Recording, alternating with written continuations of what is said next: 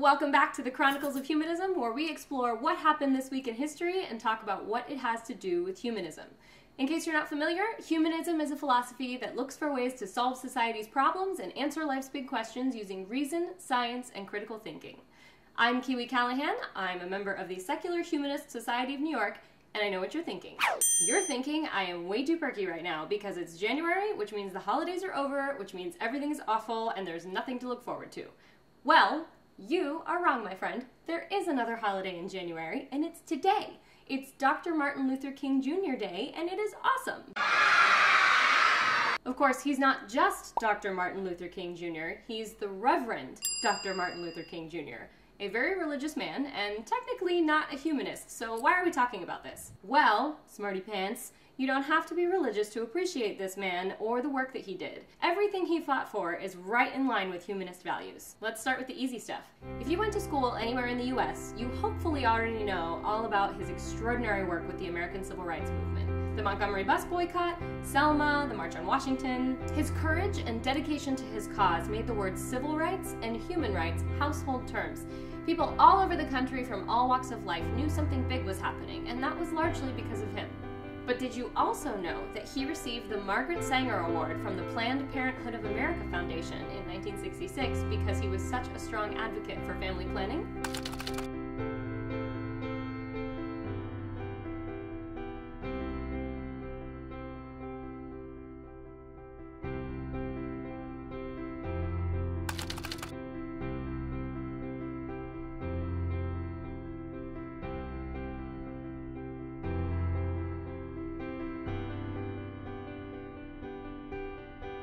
And despite being a very religious man, was a very strong advocate for the separation of church and state.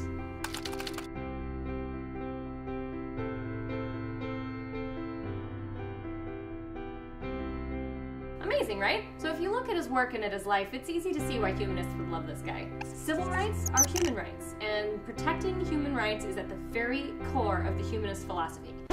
You might have guessed that from our name, humanists. See what we did there? Like put the the thing in the name. Okay, anyway, today is a great time to check in on our progress on human rights, not just here, but around the world. So let's take a look. First of all, what are human rights exactly? Most of the world has agreed that humans everywhere deserve four basic freedoms freedom of speech, freedom of worship, freedom from want, and freedom from fear. The concept of the Four Freedoms was actually coined by our very own FDR back in 1941 in his State of the Union speech. So, how does the world look today in terms of the Four Freedoms? Well, not so great, it turns out. These three of the four freedoms are pretty closely intertwined, and the International Humanist and Ethical Union has compiled a huge report that ranks every country in the world according to how well they protect these three freedoms. It's about 400 pages long, so I'm just going to give you the short version. I'm assuming that's okay with you. But if you do want to read the whole thing, you can download it for free at www.freethoughtreport.com. Okay, so here are the results. This map is color coded according to five different levels of freedom, from grave violations in black to free and equal in green. There are only eight countries that were found to be truly free and equal. You couldn't even find them, could you? That's okay.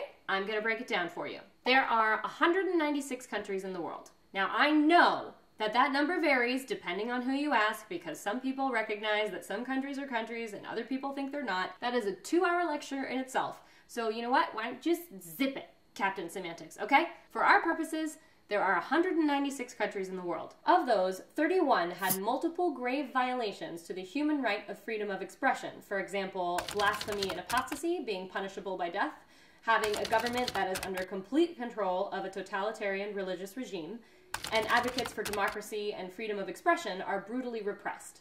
You've probably heard about events happening in most of these places recently.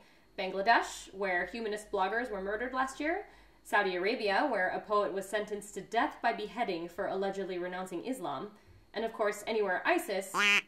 Oh, wait, I'm sorry. There we go. Mm, no, I like the other version better. Yeah, much better. Anyway, of course, anywhere ISIS calls home is not going to be great for human rights or religious freedom. Of the 165 that are left, 52 were found to have severe discrimination, which means you're doing marginally better if you're in a minority opinion, but you're still going to jail for life for blasphemy or apostasy, and you're going to suffer heavily for speaking out against the state, and you would probably still be required by law to complete religious education. Alongside places you would expect to have this kind of atmosphere, like India and Rwanda, there are also lots of places you would not expect to see this far down on the list, like New Zealand, Germany, Greece, and Israel. Next, we have the 88 countries who have systemic discrimination. That's 45% of the world, by far the biggest chunk. In these countries, the laws might be a little more progressive regarding religious and thought requirements, but there is generally still an established national religion, and you still have religious courts ruling in some matters. Next, you have the 17 that are mostly satisfactory. This is where the US falls, in case you are wondering. I bet you thought we'd be at the top of the list, didn't you? Well, we're doing okay, but like other countries in this category, there are still lots of regions where atheists can't hold office, and there's also a decent amount of government mixing with one specific religion above all others. Which leaves only eight countries that were found to be free and equal for people of all religions and the non religious Taiwan, Estonia, Kosovo, Belgium, the Netherlands, Fiji, Kiribati, and Nauru.